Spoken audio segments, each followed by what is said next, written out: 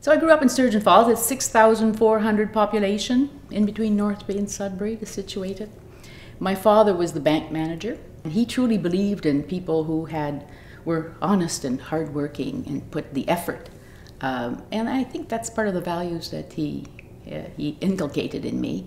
Um, and my father, I, will always remember that. I was probably 15 or so, and he, he didn't talk much in that way. But he had told me just be true to your heart and I've, I've always remembered that, that whatever you do in life, it, it's sometimes not obvious uh, which direction you should go, but you should try to be true to yourself. Um, when you look at the mirror in the morning, you're the one facing what you see in the mirror. Uh, so uh, that is the, what I take from my, my father.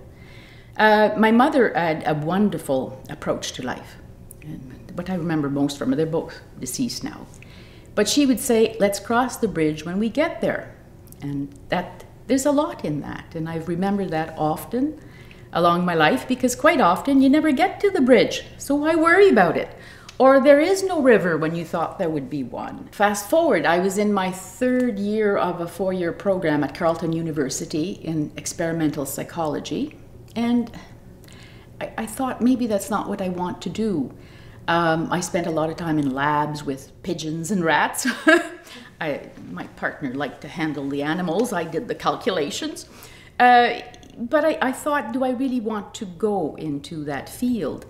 And I thought uh, at that time, it was close to exams at the end of my third year, that law might more be what I'm looking for. To, ha- to deal with people, to human problems, and to try to find a practical solution to their problems. When I left law school, my uh, intent was to go into private practice in a small to medium law firm, if you will, and develop a practice of uh, corporate, commercial, real estate, certainly not litigation. Um, I had done what? A few legal aid things at, uh, at law school. I had participated in a moot court, quite enjoyed it, and did well in the moot court but for some reason, I, I kept thinking litigation is not what I want to do. Um, um, basically a shy person, perhaps. the highlight of my career as a barrister was uh, my time as a, an assistant crown attorney. It, it truly was. It, it, it's probably a factor of the work is exciting, it's um, very interesting, and at that time in my career, that's where I would put the, the learning curve. It was at its steepest, and that's where I learned the most. And it was it's a very busy life. You're in court every day. You deal with real people. I come back probably to what I was looking for. You deal with real people who uh, have some problems, and you can bring the tools that you have and try to.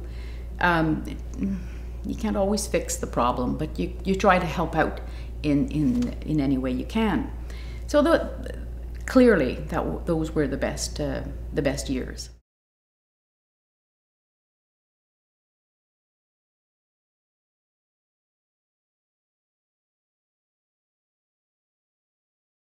I find that quite often those cases that people have identified, oh my God, you must have lost sleep. I, I didn't.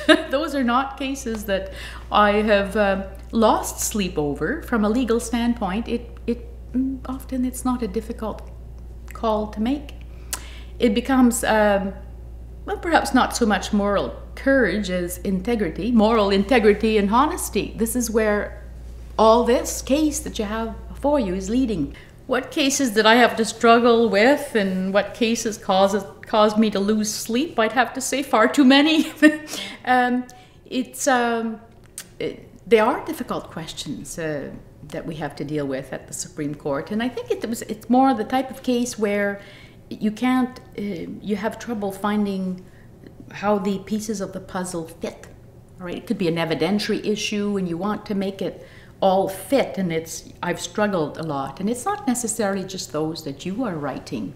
It's a collegial court and we all participate in the deliberation process. You can spend days um, struggling with the analysis that your colleague has written in trying to find out what's wrong with paragraphs 12 to 18 here. I can't put my finger on it. Um, so there have been lots of cases where the struggle is um, trying to find uh, the solution, or those that where it's not quite clear what will be the consequence. I think you, you have to be cognizant of um, public opinion, including the criticisms that uh, uh, may arise from a case, but it cannot be the litmus test on, on how you're going to decide a case. So you have to, to build a certain immunity to that, not immunity, but a tough skin. Um, and if you have, you may be wrong in the result that you've arrived at or the decision that you have made. Um, but I, I, welcome criticism because we learn from it. What I'm, I'm grateful for is that it rarely becomes personal. You don't have personal attacks. That I, I think I would have had difficulty accepting that. Like, attack my opinion. You don't have to attack me as a person. Uh, I kind of don't think that uh, I am my opinion. I have made decisions in, in the context of the law based uh, on the evidence that is before the court, and uh, uh I've tried to do arrive at the best decision in good faith. So that I find it difficult, but it's not. I think that in general, the media is very, very respectful of the of the individuals who make uh, those decisions and don't criticize at a personal level. Well, I do think that the Supreme Court creates good quality judgments. People will not always agree with them, of course not. So, are we in step with public opinion? That's a, a difficult question to answer because um, I guess it will depend which public you ask and which case we're talking about. One thing that's obvious is that public opinion cannot be the litmus test. Having said that, I don't think that the court can operate, any court, can operate um, in total abstraction of, of public opinion. Um, it can reflect um, very important uh, uh, values and, and, aspects of a problem, and uh, and as well, um, our, decisions have to be have to be palatable to a certain sense and uh, to a certain extent. Um, and I think we have to explain well why we are deciding something, and uh, it may not attract um, favor from at least a faction of the public. But if it's understood why the court went that way, I think that makes it more like palatable as a result. So courts cannot operate in oblivion of of the reaction to it because that's important to the rule of law. The decisions have to be such that they command respect. They don't have to command agreement. They have to command respect. And I think that's through whichever level of court.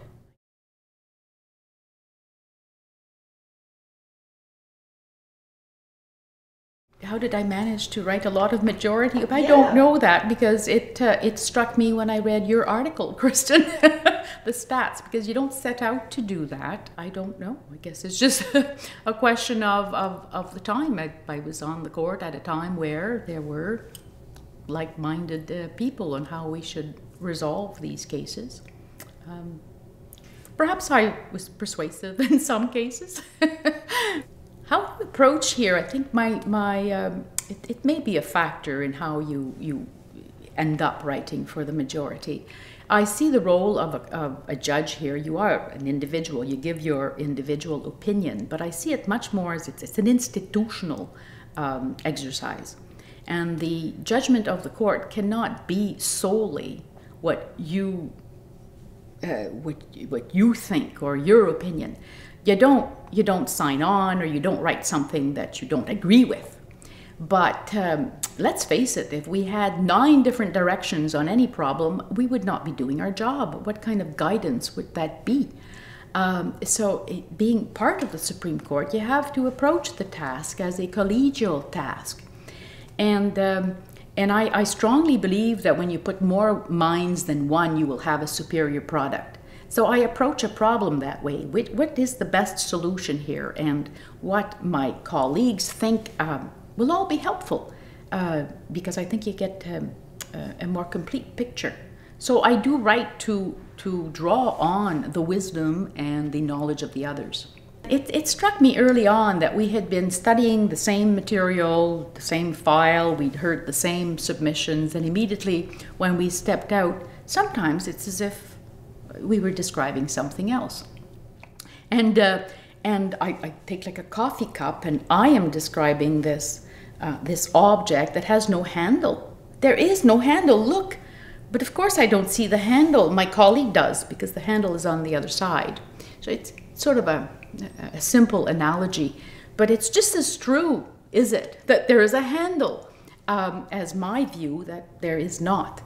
And uh, it struck me how, how smart that is because people are on courts of appeal. Well, hopefully they are strong on the law, but not because they they have this this divine knowledge that they're, get, they're going to get the right answer, but putting all this effort together will be a better product. What we'd end up doing is describing what was before us in a more complete way, in a more accurate way. So this is more what I mean in terms of it's not diluting the product, but it is a collegial effort, and you have to be open-minded to not just shut off the person who says there's a handle because you don't see one, because there may well be one. and, and once you've taken that all into account, um, and, and, and perhaps if you approach the task that way, it is easier to, to, to gather more people who are with you because you are reflecting their honest, valid views. What I enjoyed most about judging um, here on the Supreme Court is what I'm presuming you're asking, because it's a different task in different levels of court. But here at the Supreme Court, I think it would be figuring out the pieces of the puzzle. As I've told you, that's the, those are the cases that um, uh, were more difficult or caused you to put have to put more thought. But uh, that's what's most satisfying when you feel right or wrong, but you do think that, oh my, the puzzle is done. You put that last piece of the puzzle, um, and that was um, uh, what I, I really liked the most about, uh, about uh, the work on this court. So I'd wake up at two and not be able to get back to sleep, and, um, and I figured, listen, this is a job where you can never clear your desk. And as much as you say you're doing one thing at a time, it can get overwhelming, um, I have to work on clearing my mind. And um, I got into meditation. I started to do meditation. I took a course, and I don't want to expand upon that or whatever, but it was just very simple exercises that would help in regaining that focus, that you give it your best, you deal with it, um, and then you let go. I purposely decided to reduce the number of hours that I was working and I figured, well, I'll see where that leads. And oddly enough, I found myself way more productive because you can spend so many hours and you don't realize it, but you're just not producing, you're just too tired. So it, it's kind of silly that it takes you almost 60 years to realize that your brain might function better if uh, you give it a rest once in a while. I've never been involved in sports, uh, but I do insist uh, on doing the minimum. I enjoy yoga.